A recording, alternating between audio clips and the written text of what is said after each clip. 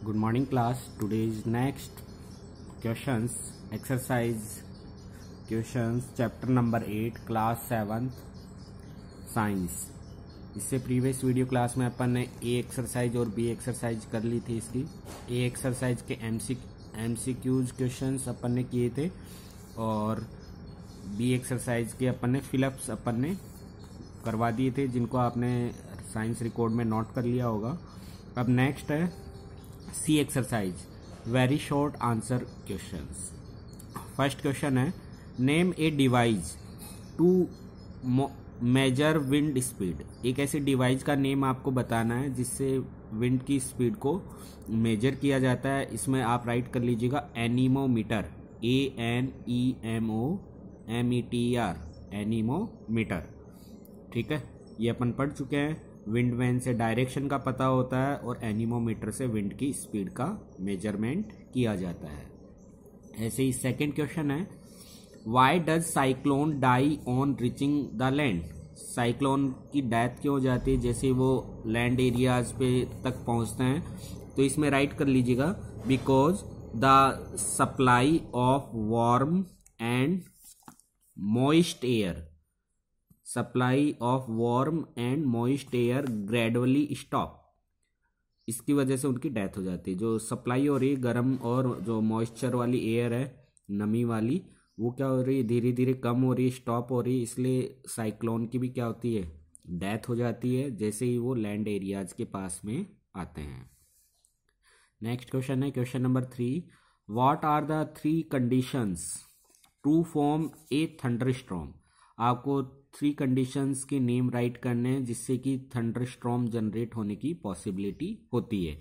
तो फ़र्स्ट है moisture M O I S T U R E moisture second है unstable air mass U N S T A B L E A I R M A double S unstable air mass third है a lifting force a lifting force ये three condition है moisture unstable air mass and a lifting force जिससे कि thunder storm क्या होता है?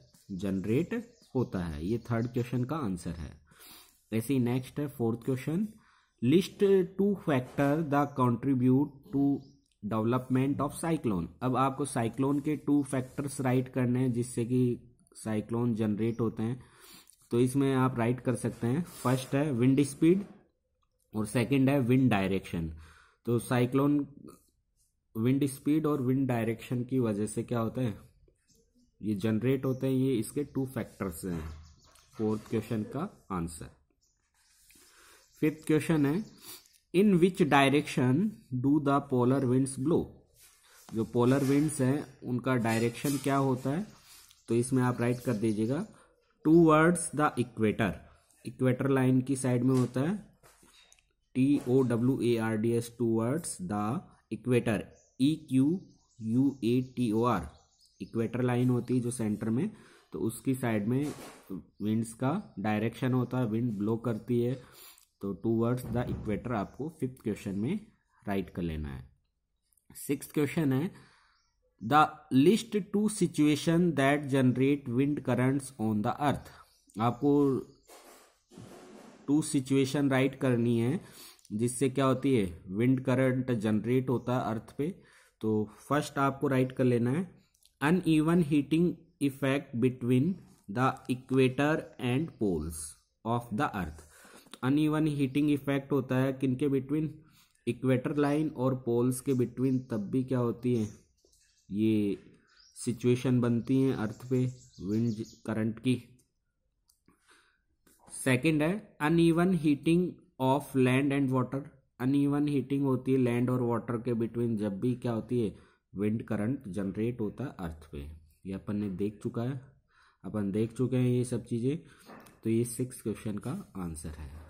Next है D exercise short answer type first type के क्वेश्चंस फ़र्स्ट है वाई डज हॉट एयर और वार्म एयर राइज अपवर्ड्स इसका आंसर है पेज नंबर सेवेंटी फाइव पे, कि जो हॉट एयर है, वो क्या होती है?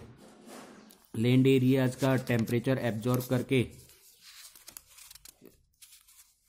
लाइट वेट हो जाती है और ये क्या होती है? अपवर्ड लिफ्ट होती है। तो इसका आंसर है पेज नंबर सेवेंटी फाइव पे। देखिए, जो एक्टिविटी थ्री है एक्टिविटी थ्री के जस्ट ऊपर जो सेकंड बोल्ड लाइन है, यहाँ से स्टार्ट करना है इसका answer hot air is a lighter so इसकी क्या हो जाती है? लोअर डेंसिटी है then the cold air higher density so hot air rise upward तो ये डी के फ़र्स्ट का आंसर है. ठीक है, ये आपको नोट डाउन कर लेना है. नेक्स्ट क्वेश्चन है question number two what are the two stages of cyclone warning cyclone warning की टू स्टेजेज कौन कौन सी? इसका आंसर है पेज नंबर एटी थ्री पे. ठीक है? पेज नंबर एटी थ्री पे आप देखिए लास्ट लास्ट के पॉइंट्स में, ये टू पॉइंट्स आपको राइट डाउन कर लेना है। फ़र्स्ट वार्निंग तो दी जाती साइक्लोन की अलर्ट फोर्टी एट आवर्स में इशू होता है, कितने आवर्स में? फोर्टी एट आवर्स में तो ये आप राइट कर लेना है। और सेकंड वार्निंग क्या होती है साइक्लोन की, इसके बाद में ट्वेंटी फोर आवर्स के बाद में इन एडवांस में इशू कर दी जाती है। तो आपको ये टू पॉइंट्स एडवांस तक, यहाँ तक राइट डाउन कर लेना है। नेक्स्ट क्वेश्चन डी के थ्री एक्सरसाइज का. डी एक्सरसाइज का थर्ड क्वेश्चन फोर्थ फिफ्थ अपन नेक्स्ट वीडियो क्लास में डिस्कस करेंगे. इनको आपको अपने साइंस रिकॉर्ड में नोट डाउन कर लेना है. Thank you have a nice day